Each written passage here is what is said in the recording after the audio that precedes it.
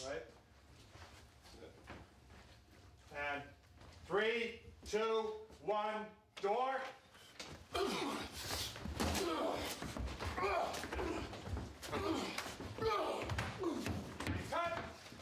We hired Kevin Nash, uh, a professional wrestler and also a very good actor, surprisingly good actor. Hello. To play the Russian. We were inspired by the comic and the fight that goes on in the comic.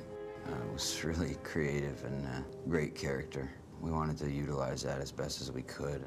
Words that me and Jonathan came up with to describe the fight was a horrific clown show. A, storyboard artist and I um, in worked in Los Angeles. We boarded all of the action of the entire picture. I had a fully articulated, storyboarded Russian fight sequence. I knew what I wanted. We were then able to give the storyboards to Gary Hymes, and he started having rehearsals. And he found out that there were some aspects of the interior of the tenement apartment that could be made uh, to better use. So he started adding things to the Russian fight sequence. And it just got better and better. Charlie.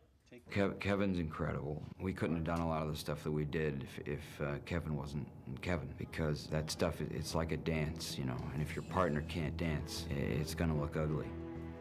I was playing catch up with Kevin the, the entire time. Kevin is uh, an enormous man. I mean, he's six foot ten and over 300 pounds, but he was a basketball player, and thus is very light on his feet. He's very nimble. So he was able to control his, his movements and also the movements of Thomas Jane in this brutal fight.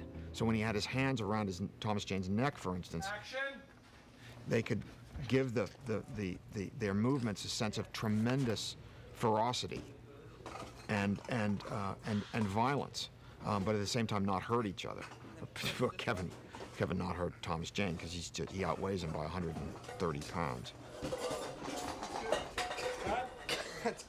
Great.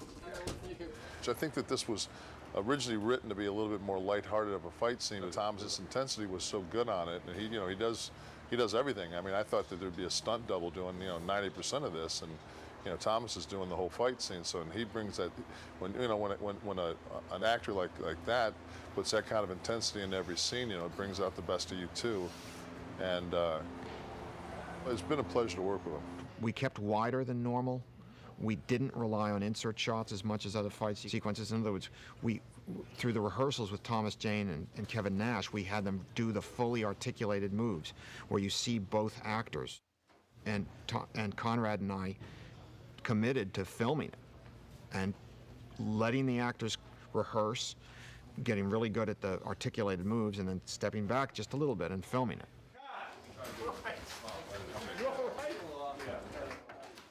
We picked up the camera in our hand and, you know, basically chased the fight up and down all around these, uh, you know, apartments and tenements.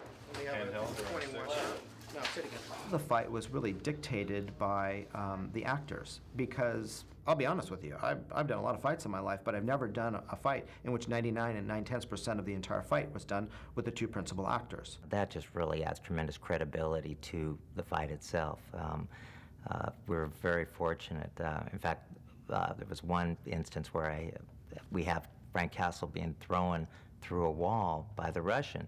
And originally I was going to use uh, Mike Owen, uh, Thomas's stunt double for it. Thomas said, you know, think I could do that? You know, thought about it. I said, yeah, that'd be fine. Don't do one of these pile drive through and leave early with your foot way back here. So we set to do it, and in all my years, I've never seen anyone go through a wall like this. Three, two, one, action!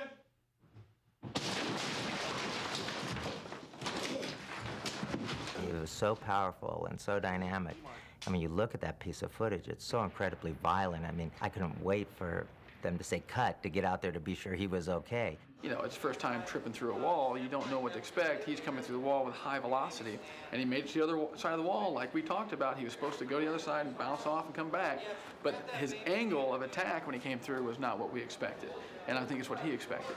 But still, he got his arm up, he protected himself up, and it looked very violent. It was a spectacular shot.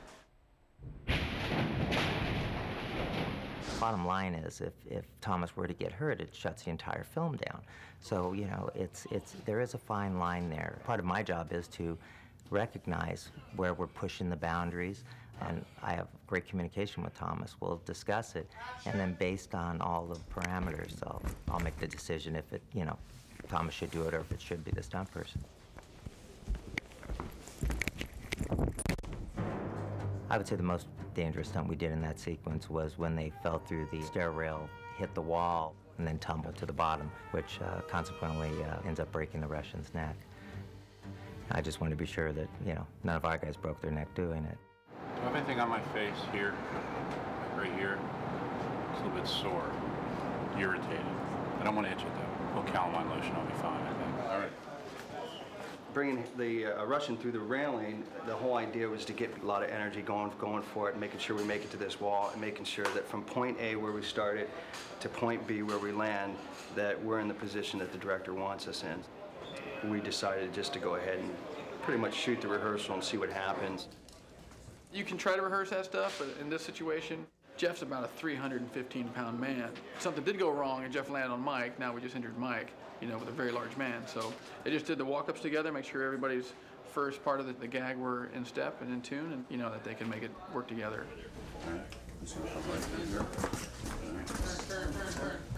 As soon as we start coming through the door, start your turn because No matter what.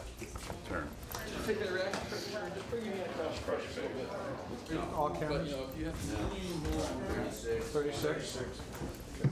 36, 30. We're gonna hit sticks and we're on 30 Okay.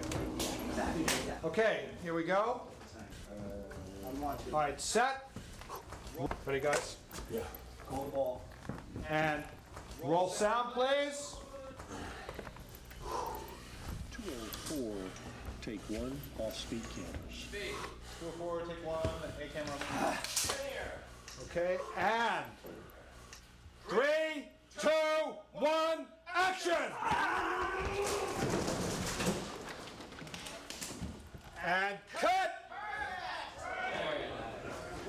We have thumbs up, thumbs up, guys? Here's a, everyone all right? All right, we have a thumbs up. You drove them all the way clear across. Okay, cut their coffee. The real one.